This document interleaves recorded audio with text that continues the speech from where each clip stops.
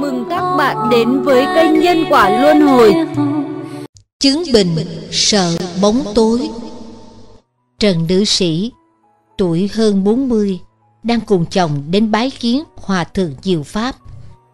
Bà kể, Từ nhỏ tới giờ thấy trời vừa tối Là phát sợ. Cho nên trước khi trời tối, Bà luôn thắp sáng hết mọi phòng trong nhà. Nếu không, Thì sau khi trời tối Bà sẽ không có dũng khí vào phòng thắp đèn. Và nếu có vật gì rơi từ trên giường xuống chỗ tối, Bà đều chẳng dám lượm lên.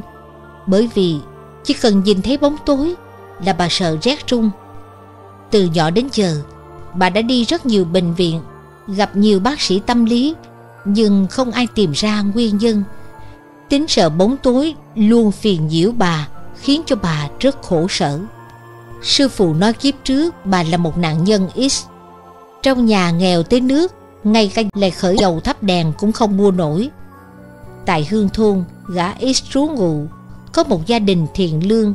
Vào những đêm không trăng, Gia đình này luôn thắp đèn dầu cho treo ngoài cổng lớn, Nhằm giúp soi sáng đường đi cho khách bộ hành Để họ dễ dàng nhìn ra điểm đến Và tránh cho họ nỗi sợ hãi trong bóng đêm. Nhưng tên X nghèo nàng này lại khởi tâm tham xấu. Hắn thường lợi dụng đêm khuya lén trộm hết dầu trong đèn mang về nhà. Đèn bị tắt rồi, khiến người đi đường sinh tâm hoảng sợ và không nhìn rõ phương hướng. Nhân nào quả nấy. Do vậy mà đời này bà luôn sợ hãi bóng đêm.